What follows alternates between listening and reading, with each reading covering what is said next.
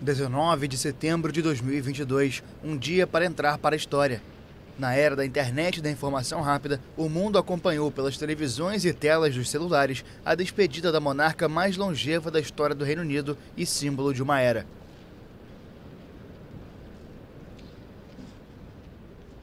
Precisamente às 11 horas da manhã, no horário de verão britânico, 7 horas da manhã de Brasília, o caixão da Rainha Elizabeth entrou na abadia de Westminster, onde foi realizada a cerimônia fúnebre com a presença da realeza e de chefes de Estado de todo o mundo.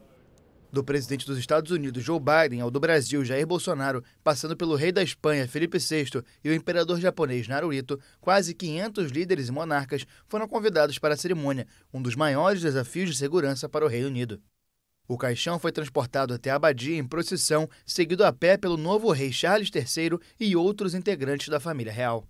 Elizabeth II morreu em 8 de setembro aos 96 anos, na residência escocesa de Balmoral. O Reino Unido a homenageou com 10 dias de luto nacional, cortejos e procissões, com uma carga de emoção popular tão grande que tornou quase imperceptíveis os protestos da minoria de republicanos.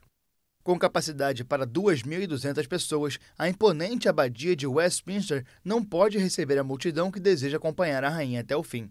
Depois de deixar o local da cerimônia, uma carruagem vai levar o caixão pelo centro de Londres até o Arco de Wellington, no Hyde Park Corner. A partir desse ponto, um carro fúnebre vai transportar o caixão até o castelo de Windsor, que vai ser a última morada da rainha.